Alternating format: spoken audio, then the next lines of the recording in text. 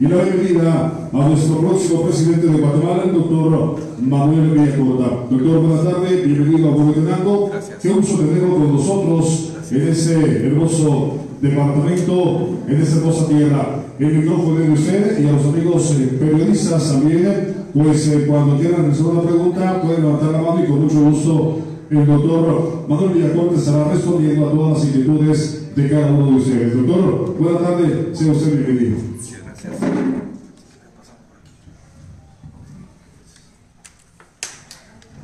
Bien, muy buenas tardes jóvenes, jóvenes de la prensa, muchísimas gracias por estar acá presentes. Y para nosotros es muy importante que ustedes estén acá, porque nuestro gran desafío en este momento es llegar a, todas las poblaciones, en este caso a la población de Huehuetenango. Así que que ustedes estén presentes, estén llevando esta información, es para nosotros muy eh, oportuno y generar con ello entonces la información y la toma de decisiones y las opiniones de nuestro pueblo huehueteco. Quiero decirles que me siento muy contento hoy de estar en este gran eh, departamento, riquísimo, pero abandonado desde la perspectiva del Estado, que no ha sido atendido ni en su infraestructura, en tema de salud, en el tema, por ejemplo, de seguridad, la educación, la promoción del turismo. Es decir, eh, no entendemos cómo un departamento tan grande, de tanta incidencia territorial, humana, en recursos naturales, está en las condiciones en que está. Eh, quiero presentar también al equipo que me acompaña, eh, los uh, candidatos a diputados del Partido Voz. Eh, está Yolanda Lucía López, Hamlet Candargüeyes, eh, Beverly Hernández y Nelvi Méndez. Es un equipo de profesionales comprometidos que decidieron dar un paso adelante porque entendieron que la política en Guatemala es una responsabilidad de todos. Estoy convencido que quienes me acompañan acá, tres mujeres y un hombre, eh, pudieron haber mantenido su posición profesional, sus ocupaciones y dejar que el proceso electoral transcurriera normalmente, pero no. Decidieron dar un paso adelante con todo lo que implica participar en política. Sabemos perfectamente bien que la política en Guatemala es un río de aguas negras, lo sabemos y nadie lo puede negar. Solo la gente valiente, comprometida y decidida da ese paso. Quisiéramos que fuera cada vez más y más personas. Así es que yo me siento muy satisfecho de contar con, con estos guerreros, eh, ¿verdad? Eh, con estas guerreras que han decidido también dar ese paso adelante e iniciar una vida política. Pero eso va a depender también del noble pueblo de Huehuetenango, que sepa escoger bien. Ya son muchísimos años de fracaso tras fracaso, de pésimos alcaldes, de tener malos gobernadores nombrados por el presidente, de tener malos diputados que se desaparecen una vez son electos y no vuelven a representar y a velar por los intereses de Huehuetenango. Yo estoy convencido, porque he hablado con todos ellos, que son personas que están comprometidas con el departamento, jóvenes, lo más importante, que tienen la posibilidad de hacer una gran carrera parlamentaria para ir a representar, a intermediar, a luchar por los intereses de este bello departamento. En manos de toda la población de Huehuetenango está elegido. Ya no hay motivo para decir que la política es sucia, que no hay por quién votar. Ahora sí hay por quién votar. Llevamos eh, jóvenes de primera línea, que vienen de familias transparentes, de familias trabajadoras, que han demostrado con su esfuerzo eh, y se han colocado donde están en función a ello. Bueno, también hoy quiero comentarles que estamos acá en Huehuetenango, pues ya hicimos una visita en la mañana a Santa Cruz Marías, estuvimos en ese territorio maya Canjobal platicando con las comunidades, con el equipo político allá, eh, pues como siempre, enfrentando situaciones dramáticas, ¿verdad? El abandono de la situación agraria, la situación de salud, de educación, seguridad, infraestructura, que se reproduce a lo largo del país. Pero hoy hay un hecho fundamental y muy importante para todos nosotros, y es precisamente que el departamento de Huehuetenango es el primero que nos cobija, que nos da la mano, que nos presta su hogar, para que nosotros presentemos nuestro primer programa de gobierno, que es un programa nacional contra la desnutrición. Vienen varios. Como ustedes saben, ya el plan de gobierno del Partido Voz está colgado en las redes sociales, es público, pueden verlo en el portal eh, o en las páginas del Partido Voz, pueden verlos también en mis redes sociales o en mi website, mi página web, manuelvillacorta.com.gt. Ahí pueden ustedes descargar el plan de gobierno. Porque tenemos que saber qué estamos ofreciendo nosotros como equipo, ¿verdad? Nosotros no estamos ofreciendo mentira, demagogia, ni venimos repartiendo fertilizantes o bolsas de alimentos, porque sabemos que eso es violentar la dignidad de los seres humanos. No estamos apelando a la ignorancia como otros, estamos apelando a la conciencia, a la inteligencia del ser humano y Huetenango nos va a entender muy bien. Pues hoy es muy alegre decir que este programa de la tierra a la mesa, un programa nacional contra la desnutrición, es el primero de una saga de programas que estamos presentando, bien sustentados, con información actualizada, con conocimiento de los problemas y con propuesta para solución. Y hoy es precisamente que iniciamos este proceso de nuestros programas nacionales eh, para atender el desarrollo socioeconómico del país. Y qué alegría decirles que es Huehuetenango el primer departamento en donde estamos haciendo la presentación de nuestro primer proyecto que está eh, denominado De la Tierra a la Mesa y que se trata de un programa orientado a generar la seguridad alimentaria, básicamente con el apoyo a los productores agrícolas y la erradicación de la pobreza. Eh, bueno, ustedes conocen la franja transversal del norte, Huehuetenango no es ajena a esa franja transversal del norte, y Huehuetenango presenta los índices más altos de desnutrición infantil, ¿verdad? Prácticamente, y de desnutrición infantil crónica. Uno de cada dos niños de este departamento y de todo Guatemala están viviendo bajo niveles de desnutrición, que es algo que no deberíamos aceptar, porque cuando un niño, sus dos primeros años de vida, crece bajo la desnutrición, aunque en el tercer año lo, lo tomemos y le demos toda la alimentación, la mejor del mundo, ya es tarde. El daño óseo, el daño neuronal, el eh, daño intelectual es definitivo.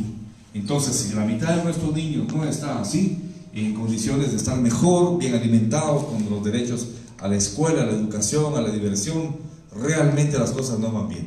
Lo conocemos bien y sabemos para qué, para enfrentar la desnutrición, para eh, enfrentar el hambre, lo que tenemos que hacer es producir y producir más y mejor. Eso es lo más importante.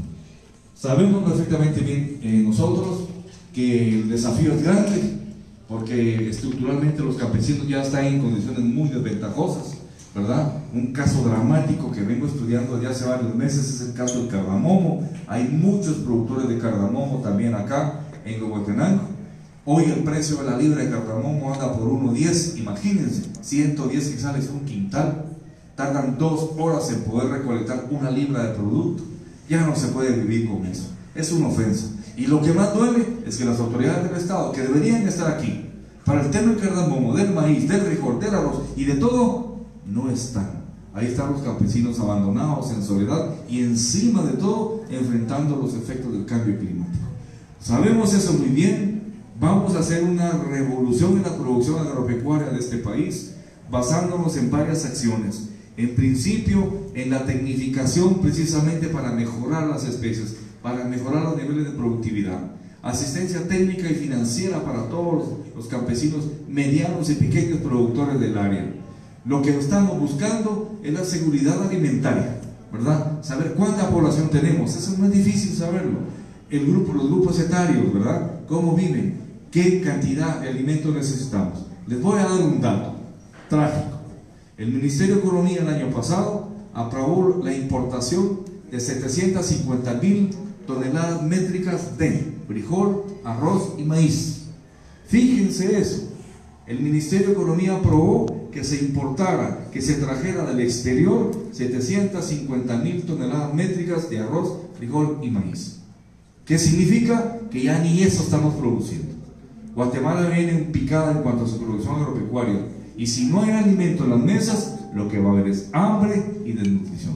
Con este plan nosotros que lo tenemos bien sistematizado, a través de la política agrícola que vamos a implementar en conjunción con el Ministerio de Economía, el Ministerio de Agricultura, el Ministerio de Desarrollo, que ahora sí va a ser un verdadero Ministerio de Desarrollo, estamos convencidos de que vamos a lograr los cambios. Personalmente tengo conocimiento eh, desde hace mucho tiempo con el tema agropecuario, Mi padre era economista agrícola, eh, trabajé en varias compañías dedicadas a la materia agrícola, conozco el tema de la productividad agrícola, de los usos que se hacen cuando se necesita de herbicidas, de fungicidas, de insecticidas para mejorar la producción, el uso de tecnología apropiada con abono orgánico, lo conocemos bien. Y mejor que yo lo conoce un grupo de profesionales eh, eh, dedicados al tema de la agronomía muy buenos. Es decir, nosotros no estamos ofreciendo mentira, demagogia, estamos ofreciendo aquí con hechos contundentes lo que vamos a hacer. Solo esperamos ganar, solo esperamos que el 25 de junio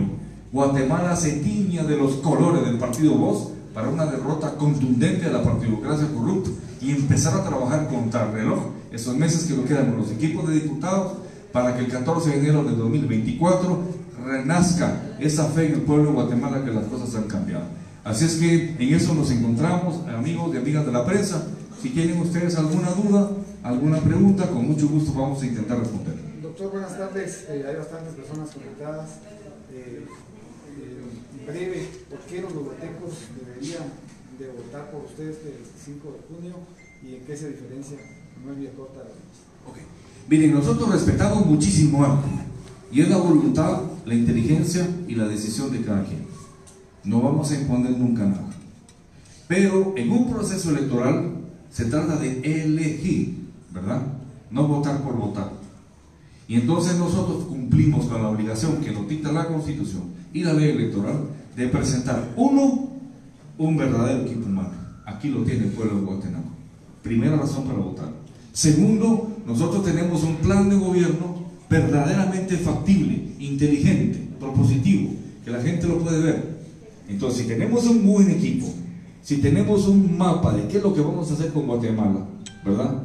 Si además de eso ustedes nos pueden ver, somos un equipo de gente transparente, que no ha estado vinculada con la corrupción, un partido que ha crecido aceleradamente, ¿verdad? Que tenemos cientos de candidaturas, que tenemos más del 80% de los afiliados son personas que no a 30 años, gente joven, un partido que está creciendo, lo estamos demostrando yo creo que Huehuetenango puede tener ya una buena opción. Yo no voy a venir a imponer o a, imponer precisamente el voto de alguien, por el contrario, es el respeto al pueblo de Huehuetenango. Revisen, comparen con el resto de partidos, ¿verdad? Yo no les voy a decir que los demás son buenos, que son malos. Nosotros, con nuestra responsabilidad, estamos pues poniendo el pecho, la cara, la vergüenza, el prestigio para decir, aquí está nuestro proyecto, aquí está nuestro equipo, aquí está nuestra gente y estos son los proyectos que estamos ofreciendo para primera vez gobernar a Guatemala por más de 70 años por el mejor de los caminos. ¿Alguna otra pregunta, jóvenes? Buenas tardes. El tema de seguridad, ¿cuál es la propuesta y qué hacer con quienes son capturados y pese a las pruebas en los juzgados son? Mira, nosotros el tema de la seguridad no lo vemos específicamente con el tema de la Policía Nacional Civil y el famoso sistema presidios. Nosotros, como siempre y como profesionales que somos, vemos esto de una forma integral. La seguridad de los guatemaltecos y las guatemaltecas pasa por tener primero un verdadero sistema de justicia.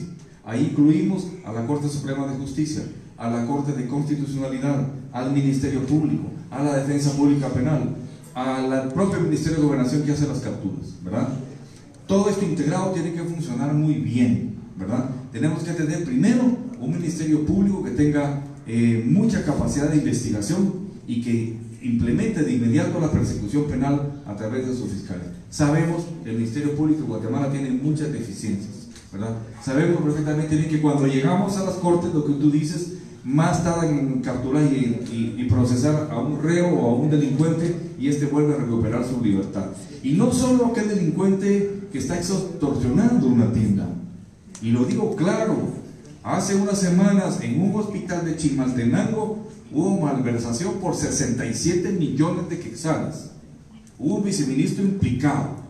A los dos días ya tenían medida sustitutiva para que se fuera a su casa a sentar a ver un partido de Real Madrid y el Barça. ¿Es eso justo? Porque ese hospital entonces no va a tener ese dinero para atender a los niños que exijan una incubadora, una abuela que necesite, por ejemplo, una prótesis o un antibiótico. La corrupción mata. Nosotros esto lo vemos integral. Vamos a hacer un cambio significativo en la Policía Nacional Civil. Tenemos 34 mil agentes de Policía Nacional Civil. pero no trabajan al mismo tiempo todos, no pueden. La mitad descansa mientras la otra mitad descansa por sus turnos. Entonces Guatemala cuenta realmente en las calles con 17 mil policías cada día, poquísimo comparado con los 20 millones de habitantes. Hay que fortalecer a la Policía Nacional Civil en eh, su equipo técnico, su equipo bélico, las condiciones humanas de los policías también, sus salarios. Nosotros vamos a incrementar como mínimo un 40% al terminar nuestra gestión eh, en número de agentes a la Policía Nacional Civil, que deberían dar por unos 65 mil agentes más o menos. Incrementar el número de policías, tecnificarlos mejor, represtigiarlos para que se identifiquen con su institución y con la comunidad. Ya no queremos policías que nos den miedo cuando vienen hacia nosotros. Queremos policías que nos den protección. Y el policía está dispuesto a hacerlo. La mujer policía está dispuesta a hacerlo si se lo respeta y si trabajamos conjuntamente. Creemos mucho en la seguridad preventiva también. Es decir, no solo esperar que haya un delito para llamar a los policías y al Ministerio Público. No, queremos seguridad preventiva. Camarajes en todas las ciudades, sistemas de control, infiltraje en todas las aquellas áreas en donde sabemos que puede haber violencia. Queremos los famosos networks sociales o redes sociales de trabajo de seguridad, en donde las comunidades sepan perfectamente bien cómo manejarse, cómo comunicarse con la policía. La policía, por ejemplo, comunitaria, que no es más que una policía que está vinculada con su propia comunidad. Como en Estados Unidos, ustedes lo han visto en las películas, que el policía paga su radio patrulla, sale a saludar a la gente, se toma un cafecito en las casas y se vuelve a ir. Queremos que los policías sean de la propia región, que la comunidad sepa que el policía tal es hijo de la pareja tal, nieto de los señores tal, que se sepa de dónde viene, tenerles confianza, ¿verdad? Porque la policía no es enemiga de la sociedad, la policía es amiga y protectora de la sociedad. Entonces, vamos a ir trabajando fuertemente. Condiciones socioeconómicas mejores, menos delincuentes. Buen equipo de protección inteligente para combatir el crimen organizado, menos crimen organizado. Tenemos un excelente equipo en materia de seguridad y sabemos perfectamente bien cómo implementar eso. Doctor, buenas tardes, bienvenidos a su equipo también. Eh, es un departamento relativamente que exporta mucho migrante. Falta oportunidades, tres situaciones que usted propone puntuales para apoyar a esta, a esta población que desea viajar a otros países. Bueno, miren, aquí yo fui migrante. Yo viví durante 10 años en Estados Unidos, llegué a Estados Unidos inicié mi proceso de ajuste migratorio allá, lo viví, hice las filas, las colas con migrantes, poniéndome vacunas, llenando formularios. Sí, yo conozco el tema de los migrantes. Hice un estudio de política pública para los migrantes. Ahí estén así es la Asociación de Investigación Económico Sociales en la zona 9. Cualquiera puede ir ahí y decir al centro de documentación, denme el estudio que hizo Vía Corta de los migrantes y se los van a dar. Yo conozco ese tema. Debo decirte que, ¿por qué un migrante se va de su país? Se va de su país porque no tiene empleo, porque no tiene capacidad de seguir estudiando, porque no tiene seguridad, porque realmente ya no tiene motivos para estar ahí. Yo conozco perfectamente bien las zonas fronterizas de Huehuetenango y San Marcos, que son las más, digamos, eh, que son los sujetos activos para ver esto. Se calcula que más o menos 1.200 jóvenes se van todos los días. A estas horas ya se fueron 900. Eso duele porque como lo dije hoy en la mañana, eh, en Santa Cruz Varías, no solo la partidocracia corrupta generó tanta corrupción y pobreza, sino incluso está generando algo peor, que la destrucción de las familias. Porque el migrante que se va, créanmelo, no regresa. Yo me voy de un tiempecito a juntar unos mil dólares, voy a venir a poner un negocio, mi hija, y vamos a salir adelante. No se puede. Ya estando allá, cuando pagas apartamento, combustible, comida, pagar la deuda que se tiene acá y todo, no alcanza. Y no es uno, se convierte en 10 años. Por eso es que tenemos que evitar la migración. ¿Cómo evitarla? Llevando el desarrollo socioeconómico a las comunidades. Si yo tengo jóvenes que tienen trabajo, ¿verdad? Un trabajo digno, bajo contrato, que se les respete sus derechos laborales, a las vacaciones, al aguinaldo, a todo esto si los jóvenes tienen centros para poderse estudiar, porque aquí la educación ya ahora es un privilegio, ya no es un derecho. Si un joven tiene trabajo, si está acumulando sus centavos, si tiene donde estudiar, si siente que el estudio se vincula con su trabajo, si tiene posibilidad de seguir creciendo en el estudio, Si tiene posibilidad de crear un patrimonio, que es lo que busca todo joven, y en su momento la emancipación, que es pues dejar a los padres y también ahí se vivir solo o sola, si ellos tienen eso, no se van. Yo repito constantemente el ejemplo de un migrante en San Marcos que le dije, ¿estás seguro que te vas? Ya con su mochila en el hombro y me dijo, ¿sabe qué pasa? Le dije, no te preocupes, irte hasta allá así como vas. Mire, Señor, me dijo, lo que pasa es que mis necesidades ya pesan más que mis miedos. Ya no tengo nada que hacer en este país. Y. Cuando tú estás en Estados Unidos se encuentran migrantes mexicanos, salvadoreños, hondureños, guatemaltecos.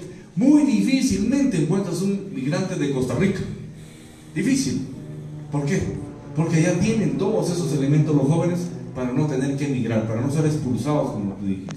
Entonces, ¿cómo se soluciona? Con desarrollo socioeconómico. Que los jóvenes tengan empleo, que los jóvenes tengan un buen sistema de educación, que tengan seguridad y no tengan miedo de estar en sus comunidades, ¿verdad? Yo creo que con eso vamos a ir combatiendo. Y aquellos que definitivamente quieran irse, para eso están los programas de migración documentados, es decir, las visas de trabajo, y las conozco muy bien, ¿verdad? El gobierno de Estados Unidos está emitiendo más o menos ahora visas de trabajo para trabajo agrícola, pero que ya es un poco más tecnificado, está emitiendo más o menos de 90 a 100 mil por año. México se queda con 85 mil. A Guatemala ni le dan porque no las gestiona, porque tenemos una Cancillería y un Ministerio de Trabajo ineptos, que no pelean por la juventud guatemalteca. Pero hay formas también de poder viajar. Ustedes han conocido gente que se va a trabajar a agricultura, por ejemplo, a Canadá, con su visa, van en avión y regresan en avión. También tenemos que regular eso. Y el problema migratorio, como esto termino, lo vamos a combatir regionalmente. Yo voy a trabajar estrechamente con el gobierno de México, con el gobierno de Honduras y El Salvador, para que los cuatro gobiernos unidos presentemos nuestras propuestas ante el gobierno de Estados Unidos. Como lo hemos estado haciendo cada quien por su cuenta, esto no funciona. Entonces, conocemos el tema migratorio y nos duele que los jóvenes se vayan. Esperemos que eso se frene para que todos esos jóvenes puedan quedarse aquí, brillar aquí y dar con su esfuerzo la lucha por nuestro propio país. Doctor, quisiéramos que la licenciada Lucía pues también se lo presentara y hiciera pues, un llamado a la población si ustedes quieren, vamos a hacerlo para que sea una forma equitativa. Los cuatro candidatos a diputados van a tener acceso a dirigirles a ustedes algunas palabras para que ustedes los conozcan mejor. Y vamos a empezar con Hamlet.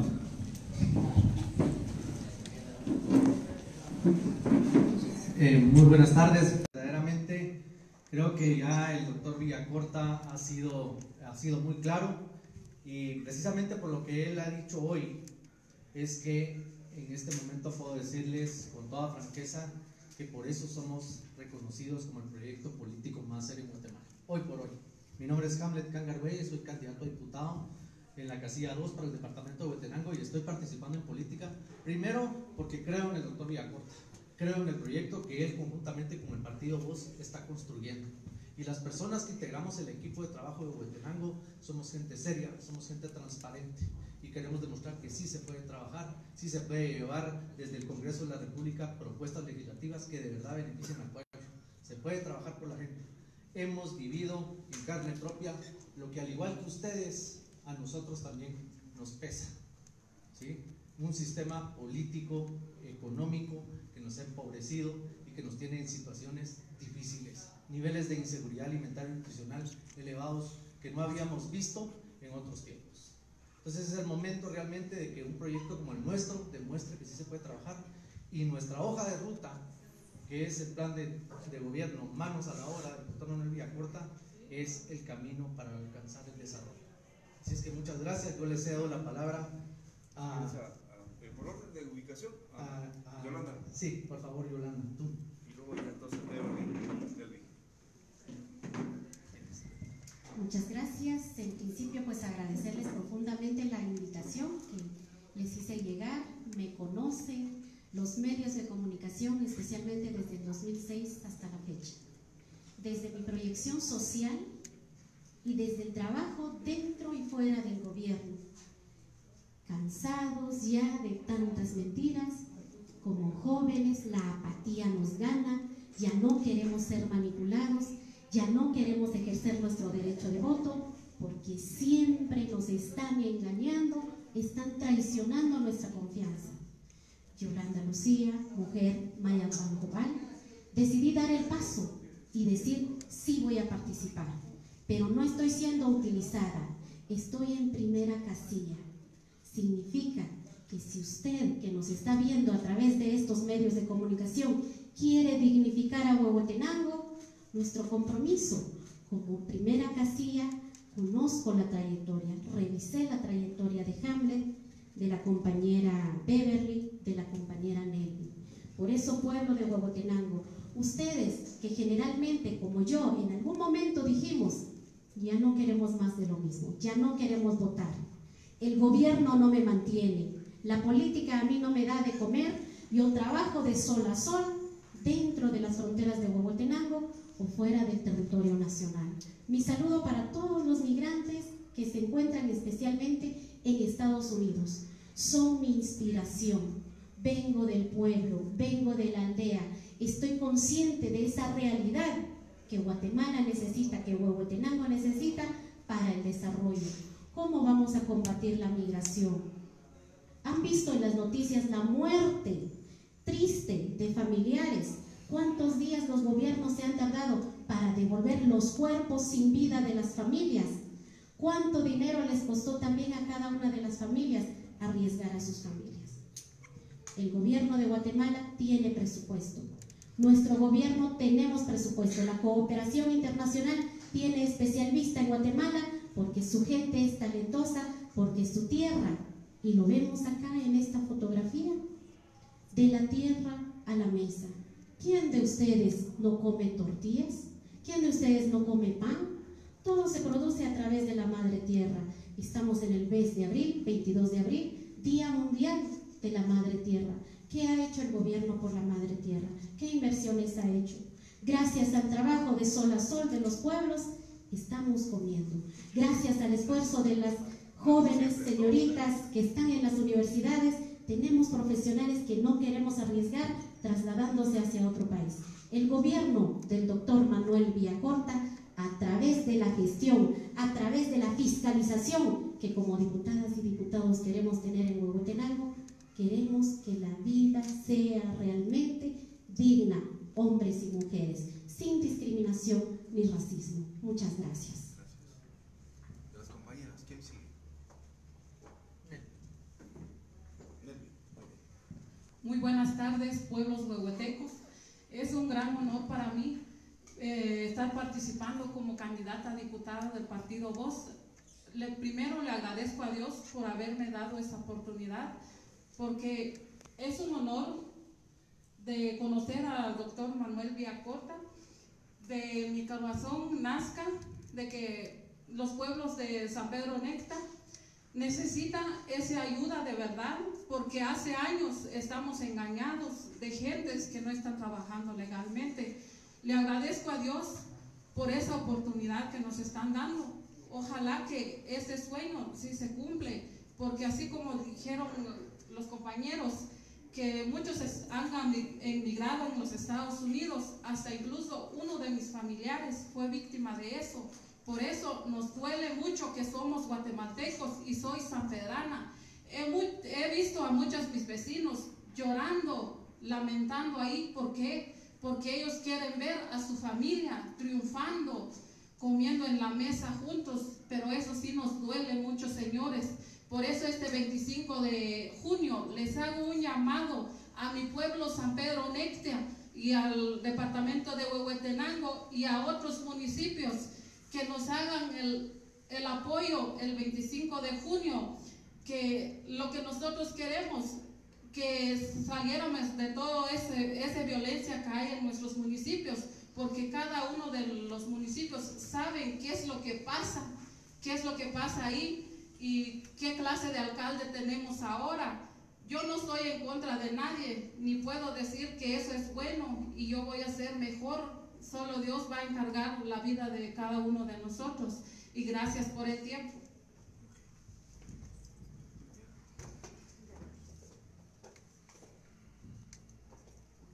Tengo buenas tardes cada uno de ustedes. Mi nombre es Beba Milloneri Hernández Martínez, en casilla número 3, presentándome, dando la cara a las personas que están el día de hoy aquí presentes. Muchas gracias a las personas que están detrás de los teléfonos visualizándonos. Un fraternal saludo a cada uno de ustedes. ¿Por qué estoy este, estas elecciones participando. Les quiero aclarar una cosa. Soy madre, soy hija, soy esposa y por lo, por lo tanto estoy cansada de tanta corrupción. Tenemos muchos años que nos vienen engañando y que seguimos nosotros reeligiendo a las mismas personas que nos están haciendo daño. ¿Quiénes son ellos para pisotear nuestra dignidad? Somos huehuetecos y somos guatemaltecos ante todo. Quiero decirles al pueblo de Huehuetenango que estamos para trabajar para ustedes, para los 33 municipios que conforman el departamento de Huehuetenango. No solo la cabecera, no solo la, eh, la parte norte, todo Huehuetenango necesita trabajo. Quiero decirles que quizá no todos estarán de acuerdo, pero hoy día estoy agradecida con el equipo de trabajo en el que estoy, porque somos personas humildes. La humildad no se deriva de la, de la eh, parte social. Hay personas ricas, pero son muy humildes, y personas pobres que tienen mucha... Eh,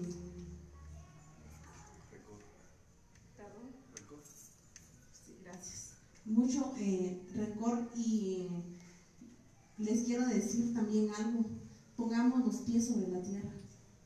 Soy una mujer, quizá, eh, perdonen porque me estoy, eh, los nervios quizá me ganan, pero soy humana como cada uno de ustedes y me equivoco y, y como, cometo errores. Pero ante todo quiero decirles que estoy aquí con cada uno de ustedes dando la cara no, no estoy ocultándome. ¿Por qué? Porque estoy por primera vez participando, porque ya estoy cansada. Estamos cansados, tengo hijos que el día de mañana no quiero que digan, mi madre fue una ladrona, mi madre estuvo en el Congreso y no hizo nada. Quiero trabajar y les, reitero, por los 33 municipios que conforman la cabecera de Huehuetenango. Estamos para eso, para trabajar Muchísimas gracias a cada uno de ustedes. Eh, le dejo el tiempo al doctor Manuel Villacorta, agradecida con él. Agradecida porque es un proyecto nuevo, un proyecto que ya no más corruptos. Ya no más corruptos.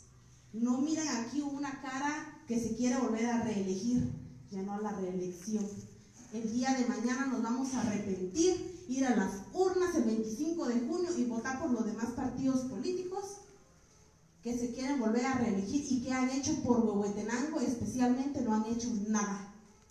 Hagamos el cambio, seamos unidos, podemos, pero que guarden esto en su corazón. Y como dice la Biblia, cuando el justo gobierna, Dios se alegra, pero cuando el malo gobierna, Dios se entristece. Que Dios me los bendiga a cada uno de ustedes. Gracias por el tiempo. Y le dejo el tiempo al doctor Manuel Villacorta. Gracias. Bien, ya vieron ustedes a nuestros compañeros, compañeras, candidatos del Partido Voz, que pues como ven es primera vez que participan, que no pueden eh, ostentar gran experiencia política, pero sí tienen algo en común, que es la honorabilidad, el compromiso, y que dieron el paso adelante. Así es que yo creo que con esto podemos ir cerrando esta conferencia de prensa. Si hubiese alguna última pregunta, alguna observación, estamos a la orden. Y si no, sí, sí. Eh, disculpe la, pregunta, ¿qué va a pasar con, en cuestión de la explotación minera? Que Guatemala actualmente recibe regalías muy insignificantes. Miren, el tema de la explotación minera nosotros entendemos y hemos estudiado siempre en las escuelas, universidades, que hay recursos naturales renovables y recursos naturales no renovables. Un bosque se puede renovar, porque lo botaron, porque hubo una tempestad y hubo destrucción, un deslave, un, volvemos a sembrar y ahí va la madre naturaleza de nuevo. Recursos renovables. Pero hay recursos no renovables. Cuando se saca la plata, el oro, el níquel, el petróleo, se fue para siempre y ya no lo tenemos. Yo no voy a ser enemigo de las inversiones, lo hemos dicho. Por el contrario, bendita las inversiones que vienen a generar empleo. Pero con la empresa minera, ¿qué es lo que vamos a hacer? Cuando yo sea presidente, lo primero que voy a hacer es que voy a dar instrucciones que no se apruebe una licencia de explotación minera más hasta que no se haga un estudio de caso en todo el país. Lo vamos a frenar. Pero vamos a estudiar las que ya están operando. Y le vamos a decir a los señores mineros, las empresas mineras, tráigame toda su información eh, jurídica para ver si ha cumplido. Quiero ver su estudio de impacto socioeconómico en la región. Quiero ver su estudio de impacto ambiental, hecho por verdaderas empresas internacionales que conocen, no el Ministerio de Ambiente que sabemos que por docena las vende más baratas, ¿verdad? Luego vamos a decirle, queremos ver qué beneficios nos está dejando esa minera, qué utilidades se llevan y qué utilidades nos dejan. Si vemos que una minera no cumple con estos requisitos, además de las consultas con las comunidades, esa minera no va a poder seguir. Ahora, si la minera tiene todo cubierto y está cumpliendo, hizo la consulta clara, tiene sus estudios de impacto ambiental y sociológico, tiene sus estudios judiciales, está dejando buena utilidad al país, esa minera no tiene problema que continúe. Pero si no es así, vamos a frenarla y hasta que cumpla con los requisitos, la dejamos funcionar. Porque el gobierno de Vía Corte y sus diputados vamos a velar por los recursos naturales de nuestro pueblo, de nuestros niños, de nuestros jóvenes. No vamos a permitir que una compañía extranjera llevárselos y dejarnos una miseria y destrucción y contaminación. Eso, que se escuche, se acabó con nosotros. Bueno, jóvenes, ya por tiempo tenemos que ir al otro evento.